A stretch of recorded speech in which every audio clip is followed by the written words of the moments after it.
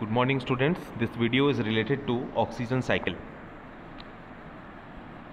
तो ऑक्सीजन जो है, वो एक एबंडेंट एलिमेंट है, हमारे एटमॉस्फेयर पर देखा जाए या हमारे अर्थ पर भी देखा जाए अर्थ क्रस्ट पर तो एक एबंडेंट एलिमेंट है, काफ़ी पाया जाता है तो अगर इसके एलिमेंटल फॉर्म के बारे में हम डिस्कस करें तो उसका एलिमेंटल फॉर्म जो है, वो आपको एटमॉस्फेयर में मिलेगा तो आपको O2 के फॉर्म में ये बेसिकली देखने को मिलेगी इसके अलावा ऑक्सीजन जो है O3 के फॉर्म में भी आपको देखने को मिल सकती है as ozone in the upper layers of atmosphere तो एटमॉस्फेयर की जो अपर लेयर्स हैं, जिसे हम स्ट्रेटोस्फियर कहते हैं, वहाँ पर हमको O3 के फॉर्म में ये मिलेगी।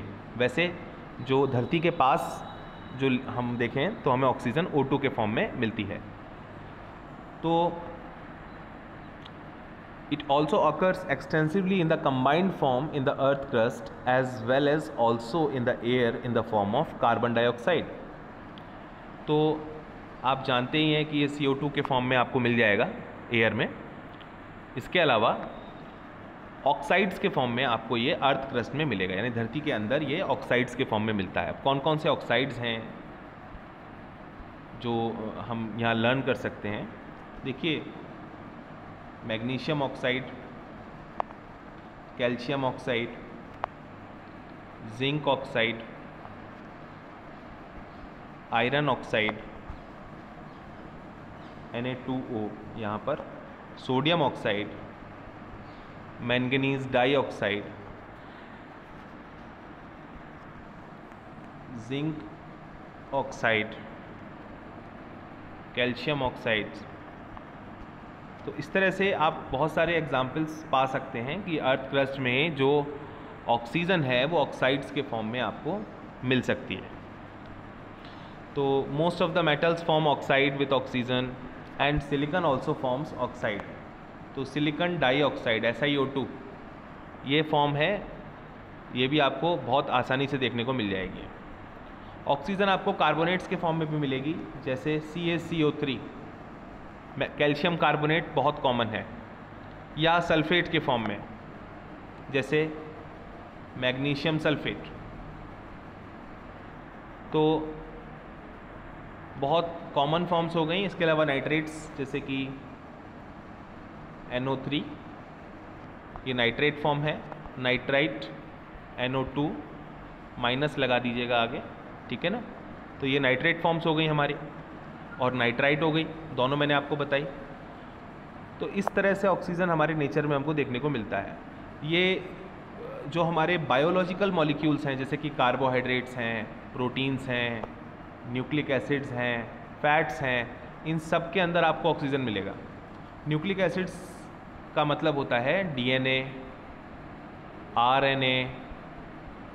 So these are nucleic acids which are termed as genetic materials तो इनके अंदर भी आपको ऑक्सीजन मिलती है। लेकिन जब हम ऑक्सीजन साइकिल के बारे में पढ़ते हैं, हम बेसिकली जो एटमॉस्फेयर में लेवल है ऑक्सीजन का, उससे, उसके रिगार्ड्स में ही इसको पढ़ते हैं। मतलब हम यहाँ पर ऑक्सीजन के लेवल के लिए इसको पढ़ते हैं। Oxygen from the atmosphere is use up in three processes namely combustion respiration and formation of oxides of nitrogen oxygen is returned to the atmosphere in only one major process, that is photosynthesis. तो oxygen का जो इस्तेमाल है, वो किस लिए होता है हमारे नेचर में? और एटमॉस्फेयर से वो कैसे लिया जाता है? देखिए कम्बशन यानी किसी भी जो सब्सटेंस है, उसकी बर्निंग के प्रोसेस में ऑक्सीजन का प्रयोग होता है। कोई भी कम्बशन ऑक्सीजन के बिना नहीं होता। तो oxygen is use up in combustion also we know that respiration requires oxygen तो जब कभी भी लिविंग ऑर्गेनिजम्स रेस्पायर करते हैं they use oxygen and then they break down complex food materials and then they get energy and what is generated carbon dioxide is generated last में आप देखेंगे कि जो नाइट्रोजन के ऑक्साइड्स बन रहे हैं, उसमें भी नेचर जो हमारा एटमॉस्फियर है, वहीं से ऑक्सीजन लिया जा रहा है।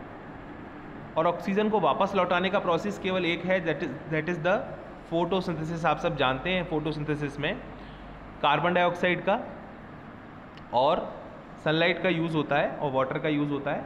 कार्बन डाइऑक्साइड का यूज़ होता है वाटर का यूज़ होता है और सनलाइट का यूज़ होता है। And what is form we see that the formation of glucose takes place, as well as some oxygen is generated. This oxygen is released back into the atmosphere. तो यहाँ पर आपको ये ऑक्सीजन साइकिल दिखाई दे रहा है। इसमें आप देखें। एटमॉस्फेरिक ऑक्सीजन आप अगर ले रहे हैं एज लिविंग ऑर्गेनिज्म तो आप रेस्पायर कर रहे हैं आफ्टर रेस्पिरेशन और देखो रेस्पिरेशन के लिए आपको क्या चाहिए? इसके अलावा ग्लूकोज चाहिए। तो ग्लूकोज आपने यूज़ किया ऑर्गेनिक मॉलिक्यूल्स यूज़ किए, ठीक है? आपने ऑक्सीजन का इस्तेमाल किया, आपने रेस्पिरेशन पूरा किया और रेस्पिरेशन के बाद क्या रिलीज़ हुआ? रेस्पिरेशन के बाद कार्बन डाइऑक्साइड निकली और वाटर रिलीज़ हुआ। इस वाटर का इस्तेमाल फोटोसिंथेसिस में प्लांट्स करेंगे और कार्बन डाइऑक्साइड का इस्तेमाल भी प्लांट्स करेंगे एंड देन दोबारा से आप देखेंगे ऑक्सीजन एटमॉस्फेयर में रिलीज़ हो जाएगा और जो ग्लूकोज है, वो दोबारा से बन जाएगा, जिसका इस्तेमाल अगेन हो सकता है। तो इस तरह से हमारा ये ऑक्सीजन साइकिल वर्क करता है नेचर में। Though we usually think oxygen as being necessary to life in the process of respiration it might be of interest to you to learn that some forms of life especially bacteria are poisoned by elemental oxygen. तो आपको तो ये लगता होगा ना कि oxygen जो है वो जीवन का एक महत्वपूर्ण हिस्सा है इसके बिना जी लाइफ पॉसिबल नहीं है और सबकी लाइफ को चलाती है। लेकिन ऐसा नहीं कुछ ऐसे बैक्टीरिया भी हैं जो ऑक्सीजन के प्रेजेंस में मारे जाते हैं because they are anaerobic bacteria they don't require oxygen they live well in presence in in the absence of oxygen fact, even in the process of nitrogen fixing by bacteria, does not take place in the presence of oxygen. तो nitrogen fixation के बारे में आपने पढ़ा होगा कि nitrogen fixation class eighth में या सेवन्थ में आपने पढ़ा होगा तो नाइट्रोजन फिक्सेशन में हम जानते हैं जो बैक्टीरिया इंपॉर्टेंट रोल प्ले करता है, उसका नाम है राइजोबियम और राइजोबियम लेग्यूमिनस प्लांट्स लेग्यूम्स जो होते हैं, जो पल्सिस होती हैं, उन प्लांट्स की रूट्स में जो नोड्यूल्स होते हैं जैसे इस तरह से रूट्स में गांठें बनी होती हैं। इनको हम क्या बोलते हैं? रूट नोड्यूल्स इन नोड्यूल्स के अंदर राइजोबियम रहता है और वहाँ पर कैसी कंडीशन होती है?